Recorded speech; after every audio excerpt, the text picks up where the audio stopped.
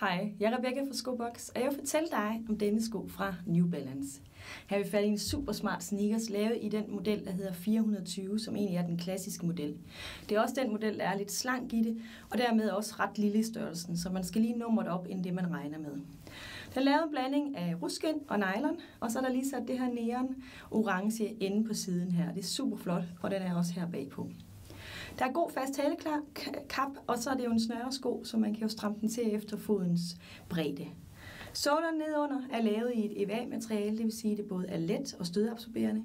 Og så er der sat gummisåler her nedunder, også med lidt print i, som er blød og fleksibel, og så man kan stå ordentligt fast. Har du lyst til at vide mere om skoen, så spørg mig eller kig forbi.